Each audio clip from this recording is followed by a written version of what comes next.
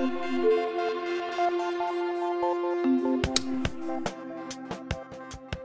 Kun Kygnus on avaruudessa, se avaa aurinkopaneelinsa ja aloittaa noin kaksi vuorokautta kestävän matkan avaruusasemalle. Laukaisun jälkeen kiertoradan korkeus on noin 280 kilometriä ja avaruusasema on noin 405 kilometrin korkeudessa.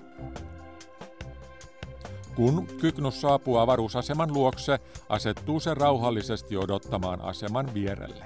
Astronautit ottavat kyknuksesta kiinni aseman robottikäsivarrella ja siirtävät sen käsivarren avulla kiinni aseman vapaaseen telakointiporttiin.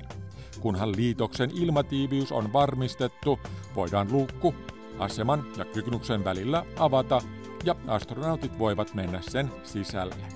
Rahtia ei kuitenkaan aluksesta siirretä kaikkea saman tien aseman puolelle, vaan sitä tuodaan sieltä vähitellen parin kuukauden aikana. Sitä mukaan, kun rahtia tuodaan ulos, tuodaan sen tilalle aluksen sisälle roskaa ja jätettä. Kun alus irtaantuu avaruusasemasta, se putoaa ilmakehään ja tuhoutuu siinä. Komea avaruusrahtari päättää lentonsa siten roskakuskina.